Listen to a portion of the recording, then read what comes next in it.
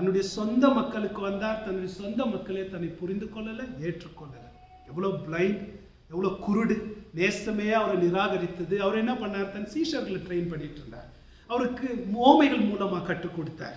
At least இவங்களுக்காவது வேத வசனம் புரியணும் இல்லையா? இவங்களுக்காவது தான் யார் என்று தெரியணும் இல்லையா? ரெண்டரை வருஷத்துக்கு பிறகு இவ்வளோ பார்த்துட்டு முதல் தடவை பேதுரு நீர்தான் ஜீவனுள்ள தேவனுடைய குமாரனாகிய கிறிஸ்து. இயேசுக்கு எவ்வளோ சந்தோஷம். ஆஹா ஆனந்தம். சேதுருவே நீ பாக்கியவான். இது மாம்சமும் ரத்தமும் உனக்கு வெளிப்படுத்தலேன் பிதாவே இது உனக்கு சொல்லி கொடுத்தாருப்பான்னு அந்த சந்தோஷத்தை கொஞ்சம் தான் அனுபவிச்சார். பாடி புரிஞ்சுக்கிட்டே இப்போ அதுக்குள்ள இப்போதான் புரிஞ்சுக்கிட்டீங்களே நான் மேசியா நான் எதற்காக வந்திருக்கிறேன்னு சொல்லி நான் எரிசிலையும் போக வேண்டும் பல பாடுகள் பட வேண்டும் கொலை உண்டு மூன்றாவது நாள் உயிர்த்தெழ வேண்டும் இதுக்கு தான் வந்திருக்கிறேன்னு சொன்ன உடனே பேதுரு என்ன பண்ணுறாரு சாத்தானுக்கு இடம் கொடுத்து இயேசுவை கடிந்து கொண்டு இயேசுக்கு எவ்வளோ மனசு உடஞ்சிருக்கும் யோசிச்சு பாருங்களேன். இப்போ தான் உங்களுக்கு புரிஞ்சுக்கிட்டீங்கன்னு பார்த்து எனக்கு பின்னாக போ சாத்தானேன்னு பேதுருவே கூப்பிடுற அளவுக்கு அவருக்கு அந்த அளவுக்கு ஃப்ரஸ்ட்ரேட் ஆகிருக்கு இப்போ ஃப்ரஸ்ட்ரேட் ஆகி அவர் அதை இது பண்ணுறத நம்ம பார்க்குறோம். இப்படிப்பட்ட ஒரு சூழ்நிலை அவர் இந்த வேலையை செய்ய வந்திருக்கும் போது யோசிச்சு பாருங்க லீடர்ஸ் புரிஞ்சுக்கல மக்கள் புரிஞ்சுக்கல உலகத்துல தான் எதற்காக மேசியா வரணும் என்ன செய்ய பரப்புறாருன்னு தன்னுடைய சொந்த சீஷர்களும் புரிஞ்சுக்கல. ஆண்டவர் நினைச்சு பாருங்க. அவர்லாம் ரொம்ப நம்மளை நம்ம அவர் எந்த ஃபீலிங்கும் அவர் இல்லாமல் இல்லை. மனுஷீகத்தில் அவருக்கும் நம்மளை மாதிரி ஃபீலிங்ஸ் இருந்திருக்கும் இல்லைங்களா? நமக்கு ஒரு சின்ன காரியம் இது இல்லைன்னா நம்ம தூக்கமே வர்றதில்லை. அவருக்கு எமோஷனலாக எவ்வளோ டிஸ்கரேஜ்மெண்ட் ஃப்ரஸ்ட்ரேஷன் ஆகிருக்கும் தேச ஜனங்க தன் சொந்த சீஷர்களே அவர் பாவமில்லாத சென்சிட்டிவாக சுத்தமாக இருக்கிற தேவகுமாரன் அவர் நம்ம அந்த பிரச்சனை இந்த பிரச்சனை நமக்கு தூக்கம் வர்றதில்லை.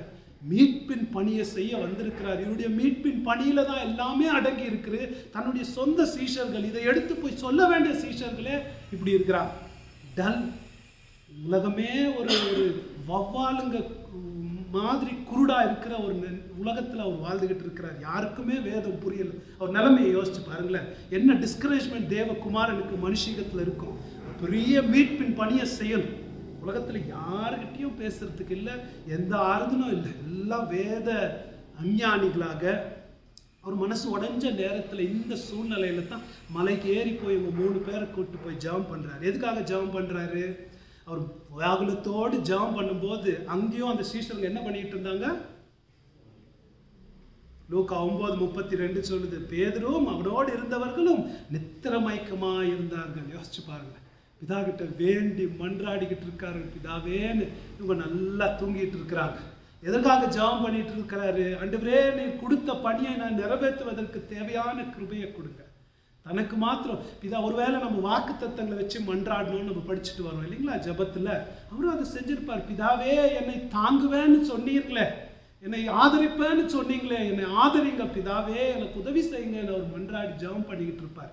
இல்லைங்களா எப்ரேயரில் சொன்ன மாதிரி கண்ணீரோடு வியாகுலத்தோடு ஜெபம் பண்ணியிருப்பார். அந்த நேரத்தில் தன் சீஷர்களுக்கும் ஜெபம் பண்ணியிருப்பார். எதிர்வே நீ ஏதோ சாத்தா உன்னை புடமிட பெர்மிஷன் கேட்டான். விசுவாசம் நீ இழக்கக்கூடாதுன்னு ஜபம் பண்ணியிருக்கன்ற மாதிரி அவங்களுக்கு கூட ஆண்டவரே இவங்க இன்னும் இவங்களுக்கு அறிவு வரணுமே. இன்னும் இவங்க- புரிஞ்சுக்கணுமே. இவங்களுக்கு ஆவிக்கூறிய பகுத்தறிவை கொடும் அவங்க கண்களை தரும். என்னுடைய மீட்பின் பணியை அவங்க புரிஞ்சுக்கணும்னு மன்றாடி ஜெபம் பண்ணிக்கிட்டு இருக்கிற நேரத்தில் அப்படி ஒரு மன்றாடுகிற மனம் உடைந்து தேவகுமாரன் செய்கிற ஜெபத்துக்கு ஒரு பதிலாகத்தான் இந்த மறுரூப காட்சி வருகிறது. இந்த மறுரூப காட்சியில் பிதா என்ன செய்கிறாரு?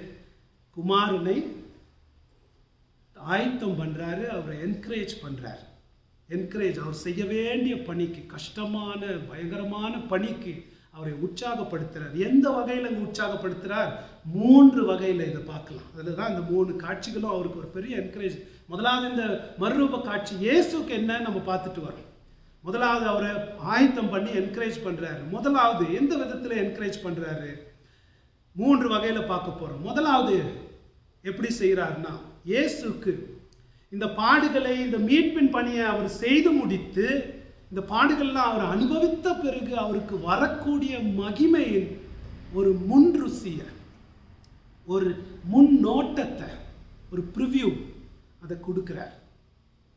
பாருங்களேன்.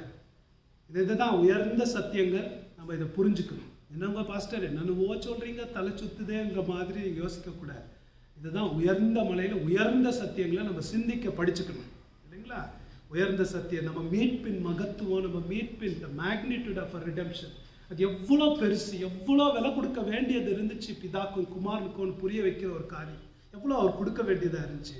தேவகுமாரன் வந்து நமக்காக மறிக்கணும்னு வரும்போது தன்னைத்தானே தேவனுக்கு ஒப்பானவர் தன்னைத்தானே வெறுமையாக்கி அந்த பிலிப்பியரில் போட்டிருக்கிற படியில் வெறுமையாக்கி அடிமையின் ரூபம் எடுத்து சிலுவையின் மரண பரியந்தோன்னு இறங்கி இறங்கி இறங்கி இந்த அளவுக்கு அவர் இறங்கி வந்தது அவருக்கு சாதாரணம் இல்லைங்க அந்த மகிமையை அவர் விட்டது.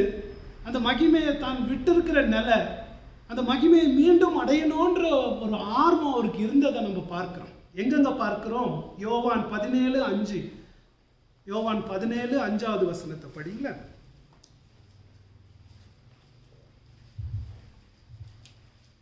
பிதாவே உலகம் உண்டாகுவதற்கு முன்னே உம்மிடத்தில் எனக்கு உண்டாயிருந்த மகிமையினாலே இப்பொழுது நீர் என்னை உம்மிடத்திலே மகிமைப்படுத்தும். பிதாவே உலகம் உண்டானது முதல் எனக்கு உம்மிடத்தில் எனக்கு மகிமை இருந்துச்சு. அதை உணர்ந்திருக்கிறார். பாருங்களேன் அவருக்கு தெரியும் அந்த மகிமை இருந்துச்சு. என்னன்றது அது இப்போ இல்லைன்றதும் அவருக்கு தெரியும். அது என்னத்துக்காக ஜெபம் பண்ணுறாரு அந்த மகிமையை மீண்டுமாக கொடுங்க இங்கிலீஷில் பார்த்தீங்கன்னா ஓ ஃபாதர். ஆர்வத்தோடு கேட்குறார். ஓ ஃபாதர் அந்த மகிமையை எனக்கு கொடுங்க. அந்த மகிமையை பற்றி அவருக்கு தெரியும். அந்த மா- அது இது மாத்திரம் இல்லை இருபத்தி நாலாவது வசனத்தில் மீண்டுமா ஜபம் பண்ணுறாரு பிதாவே எனக்கு நீர் தந்தவர்கள். என்னோடு கூட இருந்து அந்த மகிமையை பார்க்கணும். அது அவருடைய இன்னொரு ஜெபம். அவர்களும் மகிமைப்படணும் அப்படின்னு அவர் கேட்குறத பார்க்குறோம். அதுக்காக ஏங்கிறத நம்ம இங்கே பார்க்குறோம். இந்த அதை நினச்சி இந்த டிரான்ஸ்ஃபிகரேஷன் சீனுக்கு வாங்க. இந்த மறுரூப சீனுக்கு வாங்க. ஆறு நாளுக்கு முன்பதாக எருசலேம் போகணும்னு பேசினவர் போய் வேத வாக்கியம் சொல்லுகிறபடியெல்லாம் அவர் நிறைவேற்றணும். எல்லாரும் குருடா இருக்கிறாங்க மேசி அவருடைய பணியை புரிஞ்சுக்கல. தன் சொந்த சீஷர்களும் ஒரு பிளைண்டா இருக்கிறாங்க குருடா. பிதா வந்து தன்னை இந்த குமாரனை தாங்குவேன்னு வாக்களித்து இருக்கிறாரு இந்த டிஸ்கரேஜ்டு சோர்வான நிலையில் பிதாவுடைய பிரசன்னத்துக்கு அவர் போறாரு. போகும்போது என்ன நடக்குது? பிதா என்ன செய்கிறார் தெரியுமா? முதலாவது அவர் இந்த பாடுகளை எல்லாம் அனுபவித்த பிறகு அவருக்கு வருகிற மகிமையின் முன்ருசியை அங்கே கொடுக்குறாரு. என்ன பண்ணுறாரு தனக்குள்ளே இருக்கிற மகிமை மறைவிருந்த மகிமை இந்த வேல்டு குளோரியை பிரகாசமாக வெளிப்படுத்தும்படி அங்கே ஒரு ஒரு காட்சியை அவர் கொடுக்குறார். பாருங்களேன் அந்த வேலை எடுத்து ஒரு கிளிம்ஸ் நிரந்தரம் இல்லை ஒரு முன்ருசி இந்த மகிமை உனக்கு கிடைக்க போகுதுன்ற ஒரு முன்ருசியாக அதை அவருக்கு கொடுக்கறத பார்க்கிறோம். நீ இந்த பணியை முடிச்சு வந்த பிறகு உனக்கு கிடைக்க போகிற மகிமை கடவுள் இதன் மூலமா என்ன சொல்றாரு என் குமாரனே? நீ வந்து இந்த மீட்பின் பணியை செய்ய என் கட்டளைக்கு கீழ்ப்படிந்து நீ வந்திருக்கிற. அந்த மேசியாவுடைய பணியை உடன்படிக்கையின்படி உடன்படிக்கையில் போட்ட எல்லாத்தையும் நிறைவேற்ற வந்திருக்கிற நிராகரிப்பு அவமானம் சொல்லி முடியாத வேதனைகள் உனக்கு முன்பதாக இருக்கிறது. சாத்தானுடைய சோதனை உன்னை திருப்ப பார்த்துச்சு மனிதர்கள் உன்னை திருப்ப பார்க்குறாங்க. அது எல்லாத்துக்கும் நீ இடம் கொடுக்காம எனக்கு கீழ்ப்படிந்து நீ வந்திருக்கிற. கீழ்ப்படிதலின் பாதையில் போயிருக்கிற. நீ செய்யக்கூடிய மகத்தான பணி யாருக்குமே இங்கே புரியலை. பண்ணும்போது நான் உனக்கு உறுதி என் வார்த்தையில் கொடுத்த மாதிரி இப்போ இந்த மறுரூப காட்சியின் மூலமாக நீ பாடுபட்டு அனுபவிச்சு இந்த மீட்பின் பணியை செய்த பிறகு உனக்கு கிடைக்கிற மகிமையின் முன்ருசியை உனக்கு கொடுக்குறேன். அதன் மூலமாக நீ செய்ய போகிற பணிக்கு உன்னை நான் ஆயத்தப்படுத்துகிறேன் உற்சாகப்படுத்துகிறேன். புரியுதுங்களா? அதாங்க செஞ்சிட்டு இருக்காரு. ஆறு நாளுக்கு பிறகு அவர் என் பிதாவின் மகிமையில் நான் வருவேன் அப்படின்னு சொன்னார். அந்த மகிமை எப்படி இருக்கோன்ற ஒரு முன்ருசி தேவகுமாரனுக்கு அங்கே கொடுக்கப்படுது. கொடுக்கப்படுது. அதனால் அவர் பலம் அடைகிறார் இது this is four days four days இதை தான் இன்னொரு வகையில் எபிரேயர் பன்னெண்டு ரெண்டு நமக்கு என்ன சொல்லுது? அவர் தமக்கு முன்பாக வைத்திருக்கிற சந்தோஷத்தின் பொருட்டு தமக்கு முன்பாக வைக்க வை வைத்திருந்த சந்தோஷத்தை பொருட்டு அவமானத்தை எண்ணாமல் சிலுவையை சகித்து. என்ன சந்தோஷம் அது? அவர் சிலுவையை சகித்ததுக்கு அவமானத்தை எண்ணாம அதெல்லாம் தாங்கி வந்ததுக்கு காரணம் என்ன? அவருக்கு முன்பாக வைத்திருந்த சந்தோஷம். என்னங்க அந்த சந்தோஷம்? அந்த வசனம் தொடர்ந்து சொல்லுது. தேவனுடைய சிங்காசனத்தின் வலது பார்சத்தில் வீற்றிருக்கிறார்.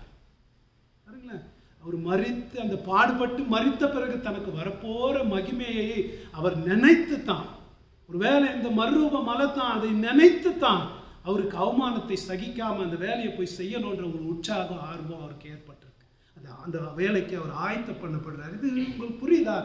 எவ்வளோ கஷ்டமான செயல் தேவகுமாரனுக்கு இருந்திருக்கிறது. நம்ம மீட்பை அடைக்கணும்னு.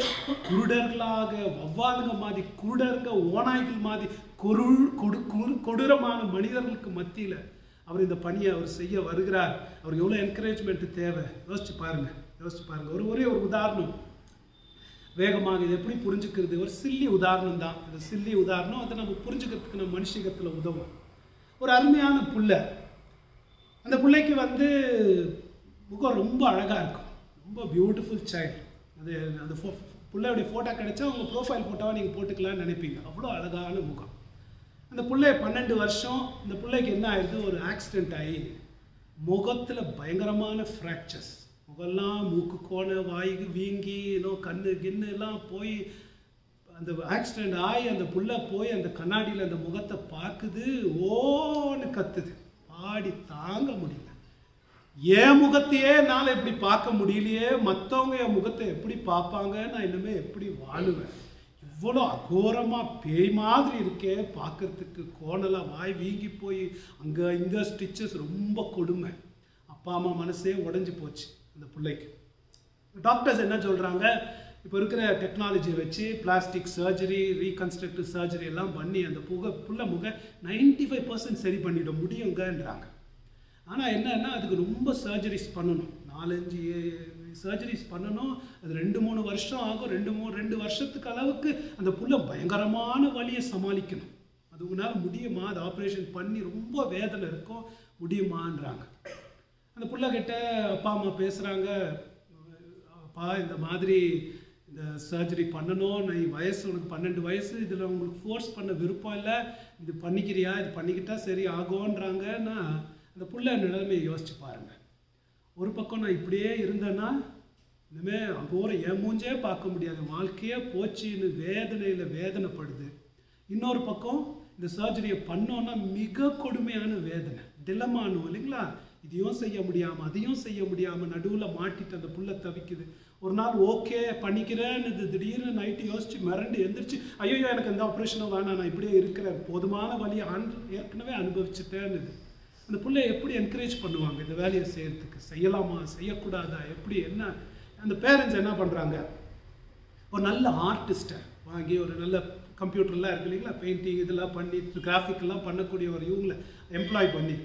இதான்ப்பா என் பிள்ளை ஆக்சிடென்ட் ஆகிறதுக்கு முன்னாடி இருந்த முகம். இவன் ஆக்சிடென்ட் ஆகி இப்போது இப்படி இருக்கிறான். இவனை ஒருவேளை ஆப்ரேஷன் பண்ணோன்னா ரெண்டு வருஷத்தில் காயெல்லாம் தீர்ந்த பிறகு எப்படி இருக்கோன்னு ஒரு ஃபோட்டோவை நீங்கள் ரெடி பண்ண முடியுமான்னு கேட்குறாங்க அது பண்ணி ரெடி பண்ணியாச்சு. அப்போ அந்த பிள்ளைய கூப்பிட்டு அப்பா அது பண்ணிக்கிறியா? ஐயோ என்னால் வேணாமே வேணாம். எனக்கு அந்த வழியை தாங்கவே முடியாது. என்னால் போகவே முடியாது. அப்போ அந்த ஃபோட்டோவை காமிக்கிறாங்க. காமிச்சிட்டு இது பாரு இப்படித்தான் நீ ஆக போகிற ஆப்ரேஷன்லாம் முடிஞ்சுது. அப்போ அந்த புள்ள பார்க்குது. பார்த்து அந்த முகத்தில் ஐயோ என் மூக்கு இந்த மாதிரி கோணையாக இருக்காதா? இவ்வளோ நல்லா இருக்குமா? என் வாய் நான் சிரிக்கும் போதெல்லாம் கோண கோணையாக போவாதா? அசிங்கமாக இருக்காதா? பேய் மாதிரி. இவ்வளோ நல்லா நான் ஆயிடுவேனா? அதெல்லாம் பார்த்து பார்த்துட்டு இதுதான் முடிவுனா நான் இந்த ரெண்டு வருஷம் வழியை தாங்கிக்கிறேன். இதுதான் முடிய போதுன்னா I will endure that pain அதே மாதிரி ஒரு காட்சி தாங்க இங்கே ஒரு சில்லி உதாரணம் தான் நம்மளால் புரிஞ்சுக்கிறதுக்கு. யோசிச்சு பாருங்கள் இதே தான் இந்த தேவகுமாரனுக்கு அவருக்கு எவ்வளோ வேதனை மீட்பின் பணியை செய்வதுன்றதை நம்ம நோ- நினைச்சு பார்க்கறது இல்லைங்க நம்ம யோசிச்சு பார்க்கறது அவர் தேவகுமாரன் அதனால எல்லா வழியாக தாங்கிக்குவார் எல்லாத்தையும் பண்ணிக்குவார். அவர் மனுஷிகத்தில் கெச்சமேனால எந்த அளவுக்கு அவர் ஏங்க அப்படி துடிக்கணும்? ஏன் அந்த அளவுக்கு வேதனைப்படணும்? மனுஷீகத்தில் அவருடைய முழு மனுஷீகமும் பரிசுத்த ஆத்மாவும் பின்வாங்கி போச்சு. பாவிகளுடைய எல்லா பாவத்தையும் தான் சுமந்து அவங்களுடைய குற்றத்தை சுமந்து தேவனுடைய சாபத்து கீழே தான் நொறுங்கணும் தான் பாவமாக மாறணும் அதுக்காக அனுபவிக்கணுன்றது பிதானால நிராகரிக்கப்பட்டு சபிக்கப்பட்டு அவர் அனுபவிக்கிற வேதனை அவர்னால அதை நினச்சி பார்த்தே ரத்த வேர்வை அவருக்கு வந்துருச்சு. நினச்சி பார்த்தேன். கெச்சமனில் அவருக்கு அதை செய்கிறது எப்படி இருக்கும்? ரொம்ப விரும்பி செய்கிறார் நமக்காக வந்தார். சொந்தமாக ஆனால் அவருக்கு பரிசுத்த ஆத்மாக்கு அந்த பணியை செய்கிறது எவ்வளோ கஷ்டம். எவ்வளோ கஷ்டம். அந்த பணியை செய்வதற்கு அந்த தள்ளாடி இங்கெல்லாம் குருடு ஒன்றுமே புரிஞ்சுக்காத முட்டாளுங்க சுற்றி உலகம். இதுங்களுக்காக போய் மறிக்கிறதுக்கு வந்திருக்காரு. எதுக்கு அவர் மறிக்கணும்னு கூட தெரியாமல் இங்கே தூங்கிட்டு இருக்கு. இதுங்களுக்காக வரும்போது பிதாவாகிய தேவன் தன் குமாரனை இதை செய்யும்படிக்கு ஊக்கப்படுத்துறதுக்கு அந்த படப்பா இதெல்லாம் செஞ்சு முடித்தோம் நாம எல்லையற்ற பாடுகள் தான். ஆனால் அதுக்கப்புறம் எல்லையற்ற மகிமை உனக்கு வந்து சேரோன்னு ஒரு ஊக்கப்படுத்துறதுக்கு இதை செய்கிறார் உங்களுக்கு புரியுதுங்களா? எவ்வளோ பெரிய என்கரேஜ்மெண்ட் தேவகுமாருக்கு அதனால தான் இப்ரேயர் என்ன சொல்லுது அவர் தமக்கு முன்பதாக வைக்கப்பட்ட சந்தோஷத்தின் பொருட்டு அவமானத்தை எண்ணாமல் சிலுவையை சகித்தார். ஓகே தான் முடிவு தான் மகிமை வரப்போகுதுன்னா சகித்தார். இதாங்க தேவகுமாரனை என்கரேஜ் பண்ணுறது பிதாவாகிய தேவன் ஒரு முன்ருசி கொடுத்து முன்ருசி கொடுத்து அவர் செய்கிறாரு யோசிச்சு பாருங்க. எனக்கு இதை யோசிச்சு பார்த்தா அந்த மலை கீழே உட்காந்து பிதாவாகிய தேவனே குமாரனே உங்களுக்கு ஸ்தோத்திரம். என்னுடைய மீட்புக்காக. எவ்வளோ பெரிய விலையை அவன் கொடுக்க வேண்டியதாக இருந்துச்சு. பாருங்களேன். ஸ்தோத்திரம். தேவ கோபாக்கினையில் நொறுங்கி அவர் இறக்க வேண்டியதாக இருந்துச்சு. முதலாவது ஒரு முன் ருசி ரெண்டாவதாக எப்படி குமாரன் குமாரன் பிதா உற்சாகப்படுத்துறாரு? ஒரு பரிதபிக்கக்கூடிய மகிமைப்படுத்தப்பட்ட பரிசுத்தவான்களோடு ஒரு பரிதபிக்கக்கூடிய ஐக்கியத்தின் மூலமாக. மகிமைப்படுத்தப்பட்ட பரிசுத்தவான்களோடு ஒரு பரிதவிக்கிற ஐக்கியத்தை ஐக்கியத்தின் மூலமாக. இயேசுக்கு இப்போ போகணும் இப்போ போய் அவர் செய்யணும் தேசமே விரோதமாக இருக்குது சொந்த ரெண்டரை வருஷம் சீசருங்க இதை கேட்கறதுக்கே அவங்களுக்கு விருப்பம் இல்லை. சொல்ல போனால் கேட்க மாட்டேறாங்க. இதே அதிகாரத்தில் இருபத்தி ரெண்டாவது வசனத்தில் திருப்பியும் அவர் சொல்கிறாரு மனிதகுமாரன் மனித மனிதர்கிட்ட ஒப்படைக்கப்பட்டு கொலை உண்டு மூன்றாவது நாள் உயிர் தெழணும் என்ன போட்டிருக்கு? அவங்களுக்கு என்ன ஆச்சு? அவர்கள் ஆ மிகவும் துக்கம் அடைந்தார்கள் அவருக்கு பேசவே அதை பற்றி விருப்பம் இல்லை. மூஞ்செல்லாம் கோணையா வச்சுக்கிட்டு உம்முன்னு வச்சுக்கிட்டாங்க. அவர்கிட்ட அதை பற்றி பேசவே பேசாதீங்க. அவர்கிட்ட பேசவே பேசாதீங்க. இவங்களை இவங்களால் யோசித்து பார்க்க முடியுமா? யாரும் பேச முடியாது. இந்த மாதிரி குருடான வௌவால்களுக்கு மத்தியில் அவருடைய மைய மீட்பின் பணி மேசியாவாக மரண இருளின் பள்ளத்தாக்கில் வந்து தேவனுடைய கோபத்தின் கீழே அவர் சாகணும். சாகும்போது தன்னுடைய நெருங்கிய நண்பர்களோடும் தான் பரிதபிக்கிற விதத்தில் பேச முடியாத இருக்கும்போது அவருடைய தனிமையை உங்களால் யோசிக்க முடியுமா? மனுஷீக தனிமையை தேவ அவருடைய ஸ்ட்ரகிளிங் தனிமையில். நம்ம வாழ்க்கையிலேயே உங்களுக்கு ஆயிருக்கா இந்த அனுபவம்? நம்ம வாழ்க்கையிலேயே ரொம்ப முக்கியமான ஒரு காரியம். நம்ம இருதயம் அதை நினச்சி நினச்சி ஒரு ஜுவாலித்து எரிகிறது. இது இதுதான் நம்முடைய பணி இதுதான் நம்முடைய வேலை இதுதான் நம்ம செய்யணும்னும் போது அதை ஒருத்தர் யார்கிட்டையும் பெரிதபித்து பேசக்கூடிய ஷேர் பண்ண முடியாத நிலைமை நமக்கு வந்துச்சுன்னா அந்த வழி என்னன்னு உங்களுக்கு தெரியுமா? யார்கிட்டையும் பேச முடியாது. யாருமே அதை அப்ரி அப்ரிஷியேட் பண்ணுறவங்க இல்லை அது அவர் கூட பரிதபிக்கிறவங்க இல்லை. மனுஷகத்தில் அவருக்கு என்ன ஆயிருக்கும் யோசிக்க முடியுமா? தன் வாழ்க்கையிலே மனித குலம் மீட்பு தன்னுடைய ஜனங்கள் எல்லாருடைய மீட்பின் பணியை செய்ய வந்திருக்கிறாரு. அது மிகப்பெரிய விலை கொடுத்து செய்யணும். அது மனுஷிகத்தில் இருந்து அவர் செய்யணும். அது யாருக்கிட்டையும் பேச முடியாத. தனிமையில் தள்ளாடுற தேவகுமாரன். என்ன பண்ணுவார் அவர்? யார்கிட்ட பேசுவார்? சீசன் கேட்கறதுக்கு மனசு இல்லை. யார்கிட்ட பேசுறது? அதோட ஆக்னி உங்களுக்கு தெரியுமா? இருதயமே சில நேரத்தில் வெடிச்சிடும் அதனால தான் டாக்டர்ஸ் வந்து யாராவது இறந்து துக்கம் இருந்தால் அழுதுருங்க ஜோரா அமைதலாக இருக்காதீங்க. ஸோ ரொம்ப சந்தோஷமாக இருந்தாலும் அதை ஷேர் பண்ணிக்கங்க. ஏன்னா நம்மளால தாங்க முடியாது இல்லையா? யார்கிட்டயும் பேச முடியாத நிலையில் அவர் இருக்கும்போது என்ன நடக்குது? வந்து பிதா கிட்ட பண்ணுறாரு யார்கிட்டயும் பேச முடியாது. பிதா இதை பார்த்து ஐயோ இது என் பிள்ளைய நொறுக்கிடுமே. நான் அவனை தாங்குவேன்னு வாக்களித்திருக்கிறேனே. பூமியில் இந்த முட்டா இந்த வேத அறியாமை உள்ள மக்களுக்கு யாருக்கும் இது புரியலனா எல்லாம் என்ன? பரலோகத்தில் எல்லாருக்கும் இது புரியுது. அதனால் பரலோகத்தில் இருக்கிற ரெண்டு முக்கியமான நபர்களை தன்னோடு ஒரு பரிதபிக்கிற ஐக்கியத்து சம்பாஷணத்திற்காக மோசேவும் எலியாவும் அனுப்புகிறார் என்ன ஒரு ஊழியம் தேவகுமாரனுக்கு? என்ன ஒரு ஊழியம் யோசிச்சு பாருங்க. ஐயோ அவங்க வந்து என்னத்தை பற்றி பேசுகிறாங்க மோசை எப்படி கடலை பிரிச்சார் எவ்வளோ அதிசயத்தை செஞ்சார் அதை பற்றியா பேச்சு? எலியா எப்படி வானத்துல இந்த அக்கினியை கொண்டு வந்தார் அதை பற்றியா பேச்சு? நான் எருசலேமில் போய் அடைந்து எக்ஸோடஸ்ன்ற ஒரு வார்த்தை. அங்கேருந்து அடைந்து அவர் எப்படி ப- மகிமை அடைய போகிறாருன்றது அதை பற்றி மனத்திறந்து பேசலாம்.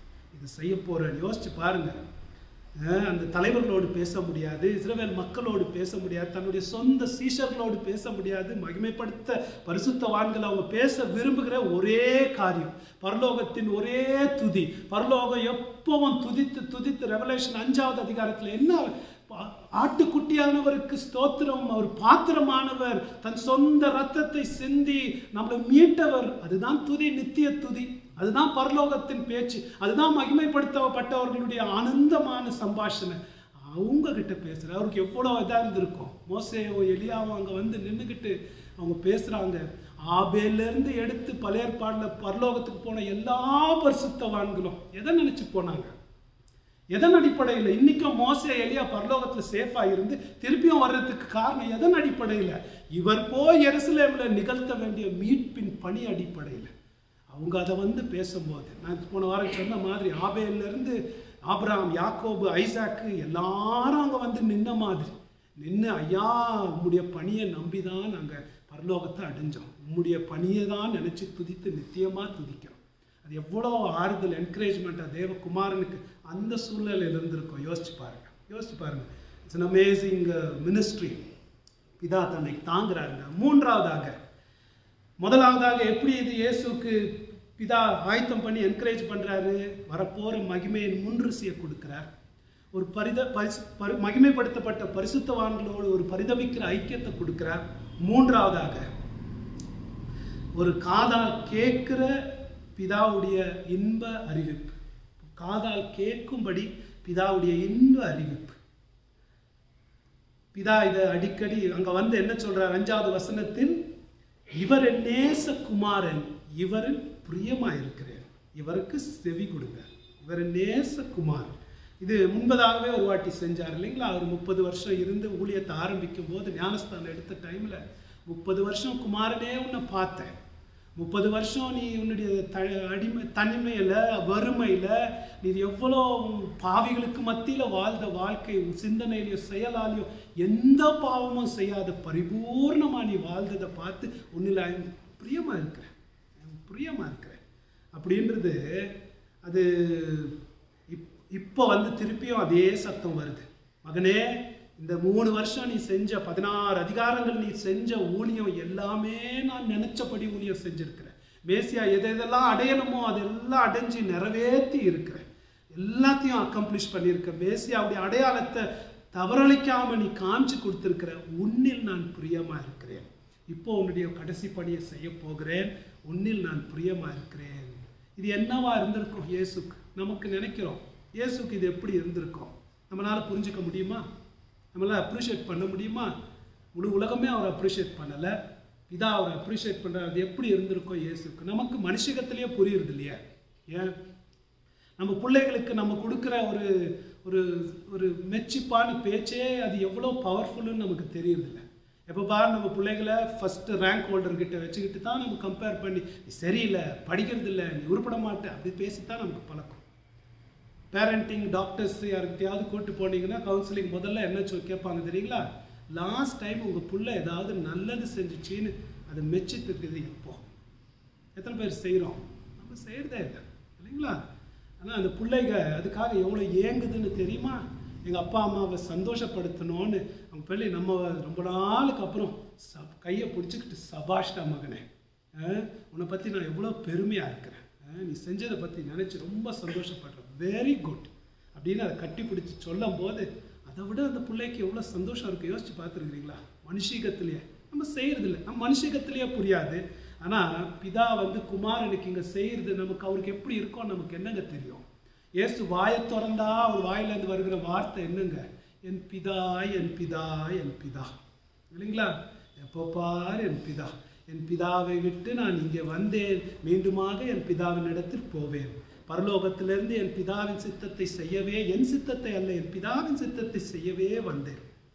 குமாரன் தானியா ஒன்றும் செய்ய முடியாது. அவன் பிதா செய்கிறது என்னத்தை பார்க்கிறாரோ அதை தான் செய்ய முடியும். நான் என் பிதாவை அறிவேன் என் பிதா என்னை அறிவார். நானும் என் பிதாவும் ஒன்று. என் ஆதாரம் என் பிதாவின் சித்தத்தை செய்து முடிப்பதே. எப்ப பார் பிதா? அந்த வியாகுல கெட்சமனிலையோ என் பிதாவே கூடுமானால் இந்த பாத்திரம் நீங்கட்டும். சிலுவை வியாகுலத்திலேயோ பிதாவே அவர்களை மன்னியும். பிதாவே என் ஆவியை உமக்கு ஒப்பு கொடுக்குறேன் எப்போ பாரு பிதா பிதா பிதான்னு இருந்தவர். அந்த பிட்டா கிட்ட காதால் யாருமே அப்ரிஷியேட் பண்ணலை. காதால் தான் கேட்கும்படி நீர் என் நேசகுமாரின் சபாஷ் மகனே உன்னில் நான் பிரியமாக இருக்கிறேன். அப்பா நீ அது எவ்வளோ எனக்கு இது போதும்பா. இது போதும் இல்லைங்களா? எவ்வளோ என்கரேஜ்மெண்ட் அவருக்கு இருந்திருக்கும். இயேசு கிறிஸ்துவுக்கு பிதான்றது வந்து ஒரு ஒரு ஐடியா இல்லை. நம்மலாம் நினச்சிக்கிற மாதிரி. ஒரு அந்யோன்யம் ஒரு ஐக்கியம் ஏற்ற மகன் அவருடைய ஃபிலியல் லவ்ன்னுவாங்க அந்த என் மாதிரி என் மகன் எஸ் என்ன பிரதிபலிக்கிற மகன்றதை விட ஆனந்தம் அவருக்கு வேற இல்லை. அவருக்கு த்ரில்லிங்காக இருந்திருக்குங்க. த்ரில்லிங்காக இருந்திருக்கும். எவ்வளோ ஆ- ஆனந்தம். இதுதான் காதில் ஒழிச்சுக்கிட்டு இருந்திருக்கும். இதை வச்சுட்டு தான் போனார் அவர். என் பிதா சந்தோஷமாக இருக்கிறார். ஆகவே இதோ நம்ம இதை பார்த்து முடிக்கணும். இந்த பகுதியை பிரதானமாக மறுரூபம் என்ன பாடங்கள் நம்ம கற்பிக்கிறது? பிரதானமாக பிதாவாகிய தேவன் தன்னுடைய குமாரன் செய்யக்கூடிய மிகப்பெரிய கஷ்டமான மீட்பின் பணிக்கு தன்னை பலப்படுத்தவும் ஆயத்தப்படுத்தவும் கொடுத்த காட்சி. அதான் இந்த பாடத்தை தான் நம்ம படிக்கணும். உங்களால் உணர முடியுதா? இந்த மலை கீழே நம்ம புரிஞ்சுக்கிட்டோன்னா பிதா குமாரன் தங்களுக்கு தாங்கள் செஞ்சு உனக்கு உங்களையும் என் என்னுடைய பாவத்தின் பரிகார பலிக்காக. எவ்வளோ கஷ்டமான வேலை அது. அதுக்காக தங்க குமாரனை பிதா உற்சாகப்படுத்தி பலப்படுத்தி அனுப்புகிறார் இந்த மலைக்கீழ நம்மலாம் உளுந்து சாஷ்டாங்கமாக ஆராதிக்கக்கூடாது. இந்த மலைக்கீழ அவரை இப்போ வோர்ஷிப் பண்ணக்கூடாது. மறுரூப மலையினுடைய முக்கியத்துவம் உங்களுக்கு புரியுதா நம்ம மீட்பின் சரித்திரத்தில்? ஓ இம்பார்ட்டன்ட் இட் இஸ் எவ்வளோ முக்கியம். ஓகே இதை நம்ம பார்த்து அவர் போய் தீர்மானமாக இந்த மலையின் அனுபவத்தில் தான் என்ன தடைகள் வந்தாலும் தீர்மானமாக ஒரு ஒரு ஃப்ளிண்ட் மாதிரி உறுதியாக எருசலேமை நோக்கி போய் பல பாடுகள் பட்டு உங்கள் பாவம் ஏன் பாவத்துக்காக பரிகார பலியாக மறித்து நீங்களோ நானும் நீதிமான ஆப்பதற்கு மூன்றாவது நாள் உயிர்த்தெழுந்தார். உயிர்த்தெழுந்தார். இதுதான் அந்த மீ டிரான்ஸ்பிகரேஷன் இயேசுக்கு என்ன செஞ்சு இயேசுக்கு என்ன பாடங்கள்னு பார்க்கிறோம். ஓகே ரெண்டாவதாக. இந்த காரியம் நமக்கு என்னங்க சொல்லுது? நமக்கு என்ன மெசேஜ் இருக்கு இதில்? ரெண்டு காரியத்தை பார்த்து வேகமாக முடிக்குவோம். முதலாவது இந்த மறுரூப காட்சி. சரித்திரத்தில் நடந்த எந்த க- இடத்துல எந்த நேரத்தில் இவெண்ட்டாக நடந்துச்சு அது கண்ணால் கண்ட சாட்சிகள் இருக்கிறாங்க அது ரெக்கார்டாக நமக்கு ஏன் எழுதப்பட்டிருக்குன்னா இந்த மறுரூப காட்சி இயேசு கிறிஸ்து சகல மகிமையோடு சகல வல்லமையோடு மீண்டும் வருவார் என்பதற்கு தவறலைக்காத வாக்குறுதி. இட் இஸ் இன்ஃபாலிபிள் ப்ராமிஸ் வாக்குறுதி. இயேசு கிறிஸ்து நிச்சயமாகவே அங்க பிரகாசமான இயேசு கிறிஸ்து அதே மகிமையோடு மீண்டுமாக வரப்போகிறார். இதை நான் சொல்லலை பேதுரு சொல்கிறார் ரெண்டு பேதுரு ஒன்று பதினாறு. ரெண்டு பேதுரு ஒன்று பதினாறு. நாங்கள் தந்திரமான கட்டுக்கதைகளை பின்பற்றினவர்களாக அல்ல அவருடைய மகத்துவத்தை கண்ணார கண்டவர்களாகவே நம்முடைய கர்த்தராகிய இயேசு கிறிஸ்துவின் வல்லமையையும் வருகையையும் உங்களுக்கு அறிவித்தோம். இயேசு கிறிஸ்துவின் வல்லமை அவருடைய வருகை. அப்புறம் தொடர்ந்து அவர் சொல்றார் கண்ணால் கண்ட சாட்சி என்னன்னு மறுரூப மலை அவர் குறிப்பிடுறார். பரிசுத்த மலையில் நாங்கள் அவர் மகிமையை கண்டோம். இவரின் நேசகுமாரன். பதினேழு பதினெட்டுல எல்லாம் அதை இண்டிகேட் பண்ணி இவர் என்ன பேதர் இதை எப்படி விளக்கி கொடுக்குறாரு பாருங்க. மறுரூப காட்சி என்ன தெரியுமா? ஒரு ஹிஸ்டாரிக்கல் ரெக்கார்ட் நிச்சயமாவே நடந்த கண்ணால் ரெண்டு மூணு சாட்சிகள். இருந்தால் அது உண்மை. மூணு சாட்சிகள் இருந்தாங்க. அது எழுதி இருக்கிறோம் ஏன் அது என்ன அது என்ன அடையாளம்? அது நமக்கு என்ன சொல்லுது? இன்ஃபாலிபிள் ப்ராமிஸ் தவறலைக்காத வாக்கு தத்துவம் இயேசு கிறிஸ்து மகிமையோடு வரப்போறார்.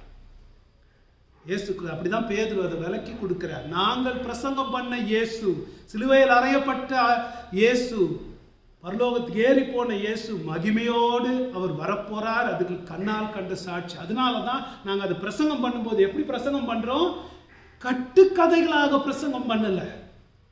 அது உண்மை. நம்ம நிறைய நேரத்தில் இயேசு கிறிஸ்து வருகை எப்படிங்க நினைக்கிறீங்க? உண்மையாக உங்களை கேட்டு பாருங்களேன். நம்ம கட்டுக்கதைன்னு தான் நினச்சிக்கிட்டு இருக்கிறோம். உண்மையாக யோசிச்சு பாருங்கள் உங்களை உட்காந்து யோ- ஆராய்ஞ்சு பாருங்கள் இயேசு கிறிஸ்து மகிமையோடு சகல தூதர்களோடு அவர் வரப்போகிறார் அப்படின்ற காட்சி அது உண்மைன்னு நீங்கள் நம்புறதா இருந்தால் நம்ம வாழ்க்கையில் பல காரியங்கள் வித்தியாசமாக இருக்கும். பல நம்பிக்கையோடு நம்ம வாழ்வோம். பல நோக்கங்கள் வித்தியாசமாக இருக்கும். ஆனால் நம்ம ஏன் கட்டுக்கதைன்னு நினச்சிக்கிட்டு இருக்கோம்? அப்படி இல்லைன்றார் பேதரும் அது கட்டுக்கதை இல்லை. எத்தனையோ கட்டுக்கதைகளை உண்மையாக நம்புகிறாங்க இது கட்டுக்கதை இல்லைப்பா. இது சாட்சாத் உண்மை இது. இது சத்தியம். இது நிச்சயமாக நிறைவேறும். இது நிச்சயமாக நிறைவேறும். அதுக்கு ப்ரூஃப் அதுக்கு அடையாளம் அதுக்கு கேரண்டி மறுரூப காட்சி. அந்த மகிமையை நாங்கள் அந்த மகிமையின் முன்ருசியை நாங்கள் பார்த்தோம். நாங்கள் செத்தவர்கள் போல் விழுந்தோம். அதுக்கு முன்பதாக அந்த முன்ருசியை நாங்கள் பார்த்தோம். அதே மகிமையோடு அவர் வரப்போறார். வரப்போறார். அதனால தான் ஆட வந்து நியாயம் தீர்க்க போறார். இங்கே உட்காந்துருக்கிற நீங்கள் நீங்க யோசிச்சு பாருங்க. ஒரு காலம் வரப்போகுது. உலகத்தின் ஆட்டம்லாம் நிற்க போகுது. மேகம் ஒரு சுருளை போல சுருள சுருளப்பட்டு நட்சத்திரங்கள்லாம் விழுந்து சூரியன் அந்தகாரமாகி பூமியும் வானமும் அகன்று போகும். இடம் இல்லாமல் போக போகுது. எல்லா மகிமையோடு பிதாவின் பெரிய அல்டிமேட் க்ளோரி உச்சகட்ட மகிமையோடு. அப்படின்னா பிதாவின் சகல குணாதிசயங்கள் வெளிப்படும்படிக்கு இது வரைக்கும் படைப்பிலிருந்து வெளிப்படாத விதத்தில் எல்லையற்ற மாட்சிமை வல்லமையில் அவர் வெளிப்பட போகிறார் ஒரு நாள். அவர் வர நேரம். எல்லாரும் அவருக்கு முன்பதாக நின்று பூமியின் கோத்திரங்கள்லாம் புலம்புவார்கள். கற்பாறைகள் கிட்ட எங்கள் மேலே விழுந்து எங்களை நசுக்குங்க ஒருவரும் தப்ப முடியாது. அது நிச்சயமாக நடக்குமா? மறுரூப காட்சி. உங்களுக்கு நான் பிரசங்கம் பண்ண மறுரூப காட்சி. போன வாரம் இந்த வாரம். நீங்கள் வச்சிருக்கிற தமிழ் பைபிள் தமிழில் மொழிபெயர்க்கப்பட்டு வச்சிருக்கிற ரெக்கார்டாக ஹிஸ்ட்ரியாக எழுதப்பட்ட காட்சி ஒரு ப்ரூஃப் இது நிச்சயமாக நடக்க போகுது. இது நிச்சயமாக நடக்க போகுது. உங்கள் பைபிளை திறந்து பாருங்கள் அதான் அடையாளம். கண்ணால் கண்ட சாட்சிகள் அவருடைய மகிமையை கண்டு எழுதி இருக்கிறாங்க அந்த நேரத்தில் அவர் வர அந்த மகிமையில் வர நேரத்தில் நீங்கள் காண்டி அவருக்குள் காணப்படலைன்னா உங்களை நீங்களே வெறுத்து சிலுவையை எடுத்துக்கிட்டு அவரை பின்பற்றுகிற மக்களாக இல்லைன்னா அவருடைய மகிமையில் உங்களை நசுக்கி நியாயம் தீர்த்து நித்திய அக்னி கடலுக்குள்ள உங்களை தள்ளுவார். இது உண்மையா? கட்டுக்கதையா? இதுதான் வாரம் வாரம் பேசிக்கிட்டு இருப்பாங்க. இது கேரண்டி உண்மை. சாட்சாத் உண்மை. அதுக்கு கேரண்டி முன்றுசு ஏற்கனவே கொடுக்கப்பட்டாச்சு. இதை நம்புறீங்களா? உண்மையாகவே நம்புகிறோமா யோசிச்சு பாருங்க. தேவ பிள்ளைகளுக்கு இது எவ்வளோ பெரிய ஆறுதல் கொடுக்கணும்? யோசிச்சு பாருங்க. அநேக நேரத்தில் இயேசு கிறிஸ்துடைய வருகையை நம்ம ஒரு ஒரு கட்டுக்கதையாக ஒரு ஏதோ ஒன்று ஒரு அப்ட்ராக்ட் ஐடியாவாக தான். ஆனால் முதல் நூற்றாண்டு சபையில் இன்னைக்கு காலையில் தெஸ்லோனிக்கர் பகுதியில் படித்தோம் அவங்க வைக்கிறாங்கலேருந்து திரும்பி எப்படி வாழ்ந்துக்கிட்டு இருந்தாங்களாம்? வரப்போற இயேசு கிறிஸ்து காத்திருக்கிற வாழ்க்கை. தெஸ்லோனிக்கர் நமக்கு அப்படி இருக்காது ஒரு ரியாலிட்டிங்க அது ஒரு உண்மைங்க. திடீர்னு வந்து நிற்கிறாருன்னு வைங்க. திடீர்னு முகப்பிரகாஷ் சகல தேவ தூதர்களோடு வந்து நிற்கிறார் ஒரு ஒரு ஃபேன்சி கதை ஒரு ஃபேரடைல் கதை மாதிரி நினைக்காதீங்க. இது நிச்சயமாகவே நடக்க போகுது. உண்மையாகவே நடக்க போகுது. அதை நம்ம நம்புறோமா? நம்பினா என்ன ஆறுதலுங்க நமக்கு? என்ன ஆறுதல்? இந்த மறுரூப காட்சி ஆழமாக பரிசுத்தாவியானவர் நம்ம மனதில் கல்வெட்டாக பதிய வைக்கிறதுக்கு இதை போய் தியானம் பண்ணுங்க. இதை யோசிங்க. உலகத்தை பார்த்தா. அ- அழிந்து கடந்து போகிற தற்காலிகமான உலகத்தை பார்த்தா நமக்கு எந்த அடையாளம் கிடைக்காது.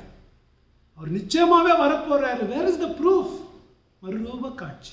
இந்த காட்சி நம்ம மனசில் எந்த அளவுக்கு நம்ம பதிச்சு எவ்வளோ மகத்துவமானதுன்றதை நம்ம புரிஞ்சுக்கிறோமோ அந்த அளவுக்கு இது ஒரு ப்ராமிஸ் நம்ம மனசில் உண்மையாக இருக்கும். ஃபஸ்ட்டு பாருங்க. ஒரு கேரண்டி ஒரு கேரண்டி அவர் வரும்போது அவருடைய மக்களான நமக்கு எவ்வளோ ஆறுதல்? ஏன்? அவர் வரும்போது தான் நம் அவருடைய ம நம்முடைய மகிமையும் அவர் கூட வருகிறது. இல்லைங்களா?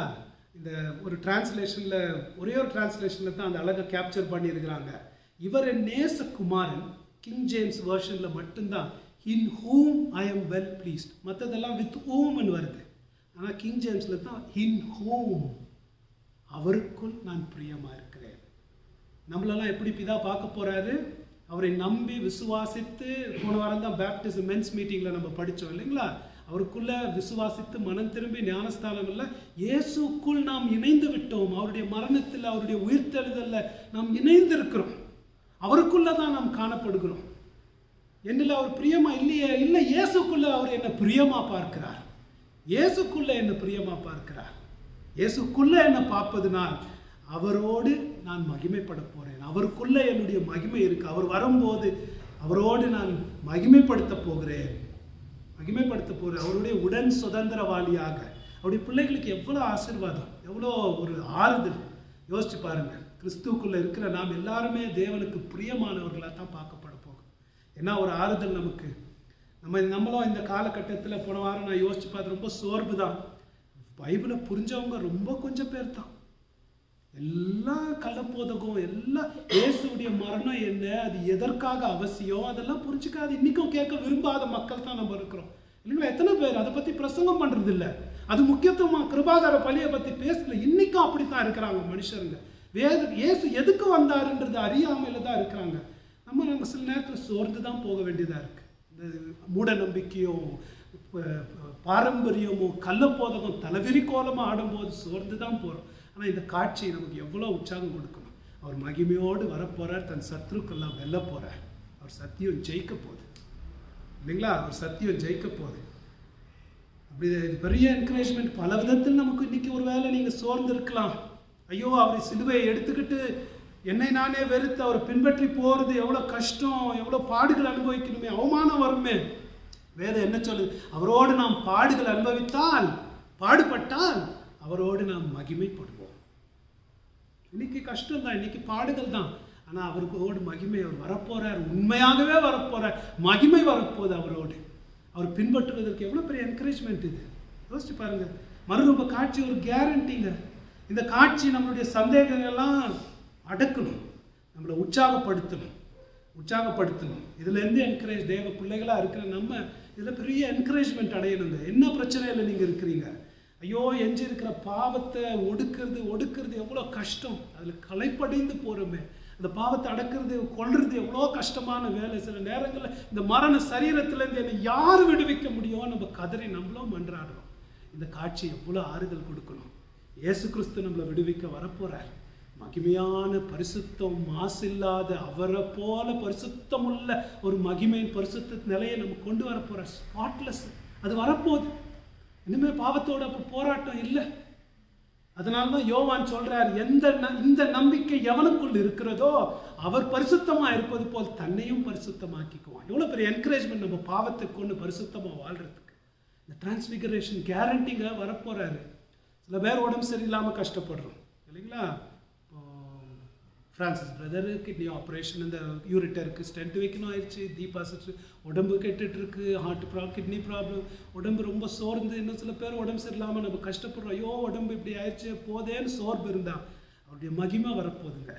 எந்த வியாதி இல்லாத பரிபூர்ணப்படுத்தப்பட்ட சரீரத்தை அவர் கொடுக்க போகிறார் அவர் வரும்போது அவர்கள் தேவன் தாமே நம் கண்ணீர்கள் எல்லாம் துடைப்பார். அங்கே மரணம் இல்லை அழுகை இல்லை கண்ணீர் இல்லை வியாதி இல்லை மரணம் இல்லை. நித்திய மகிமை. இது உண்மைங்க. சாட்சாத் உண்மை. எப்படிங்க தெரியும்?